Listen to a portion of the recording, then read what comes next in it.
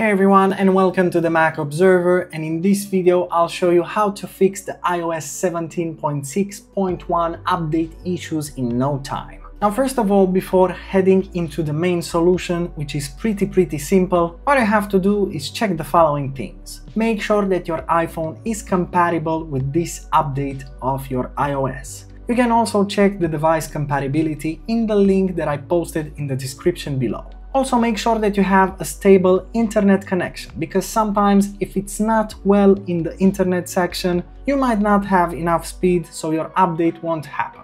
You can also check the Apple servers, sometimes they may be down, but you can check this as well through the official page, which I also posted in the description below. And if your battery is less than 50%, this can also be a problem if you want to download the update because this will not allow you to do so. Now the main solution, even though it's super simple, describes most of the problems users have when trying to update to this iOS version.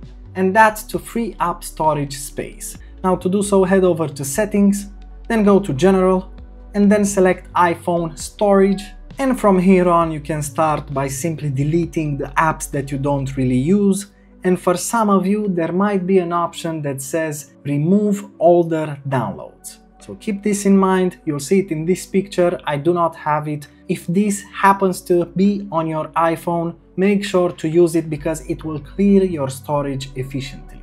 And that's it. I hope this issue will be solved just by taking care of the storage and if it does make sure to hit the like button and subscribe to our channel for more quality content. Thanks for watching.